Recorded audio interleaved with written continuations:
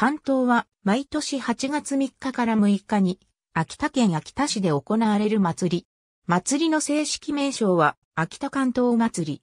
関東全体を稲穂に連なる提灯を米俵に見立て、額、腰、肩などに乗せ、豊作を祈る。重要無形民族文化財に指定されており、青森のねぶた祭り、仙台の七夕祭りと並んで、東北三大祭りの一つとされる。また、日本松上鎮祭り、尾張津島天皇祭と並び、日本産王上鎮祭りにもなっている。2000年までは8月4日から7日の日程で開催されていたが、東北地方の他の祭りと日程が重なりやすかったため、2001年から1日前倒しして、現在に至っている。2020年、2021年は、新型コロナウイルス感染拡大のため中止となった。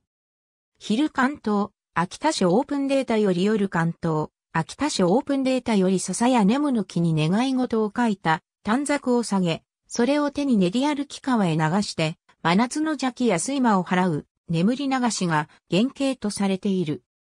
眠り流し自体は江戸時代以前より行われており、法暦年間には現在の原型があったとされ、五穀豊穣や無病息災、義芸上達を願って、旧暦7月7日に合わせて行われる七夕行事と、共に、旧暦7月15日のお盆を迎え入れるための一連の行事として、現在の形になったとも言われている。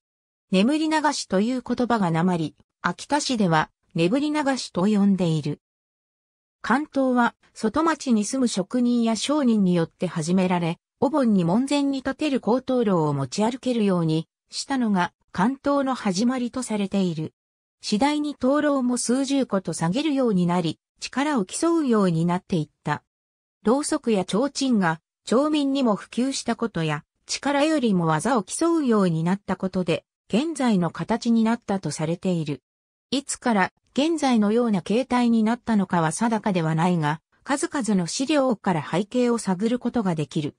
完成元年に書かれた雪の降る道には、現在の関東に近い姿の絵が描かれている。文化11年に書かれた秋田風俗と異常島には、平手で関東を持ち上げている絵が描かれている。慶応3年に書かれた出羽の道分けには頭に乗せて演技する姿が描かれている。関東の語源は、慶徳伝登録の百尺関東、主進歩からヒントを得て、大久保哲作によって名付けられたとされている。また、昔は、作り道路を、眠り流し、七夕とも呼ばれていた。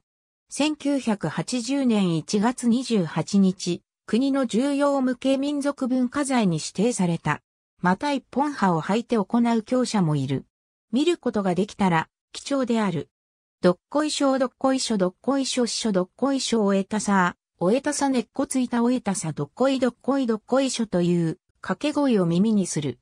重いものを持つどっこいしょの他に稲型にしっかりと根付き、成長していることを意味し豊作の願いが込められている。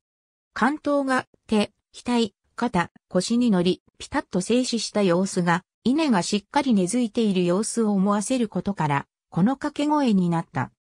また、夜関東終了の際に、関東締めが行われ、ようどっこいしょどっこいしょどっこいしょしょどっこいしょの掛け声を手を叩きながら、観客と共に会場が一つになり行われる。昼関東、秋田市オープンデータより、昭和6年から関東演技や林方の技術を向上させるために、関東妙技会を開催している。ほどの鉄砲町は、団体規定演技において2度の4連覇をしている。個人戦では、同町内から4年連続チャンピオンを輩出している。また、平成23年には、自由演技、個人戦、林方において、秋田県立大学が優勝し3冠を成し遂げた。夜関東、秋田市オープンデータより、ふるさと祭り東京関東大通りまで、関東妙義会会場まで、ありがとうございます。